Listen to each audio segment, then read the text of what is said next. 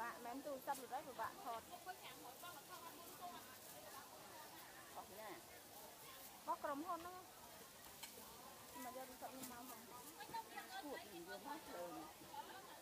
អីទូរស័ព្ទទី3ធ្ងន់ចង់ងាប់ឲ្យលោកម៉ាម៉ាយកទូរស័ព្ទម៉ែទេទៅម៉ាក់ខ្ញុំទៅមើលទៅអីគេមកយកទូរស័ព្ទនៅទូរស័ព្ទខ្ញុំខ្ញុំទាំងអស់ហ៎